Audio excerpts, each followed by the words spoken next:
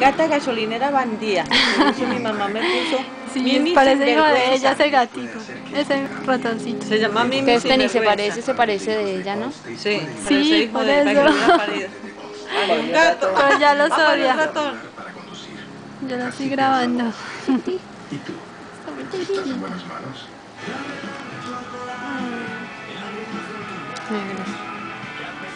Se ve buscando por toda la corte. Y acabo de recibir el cepillín ese.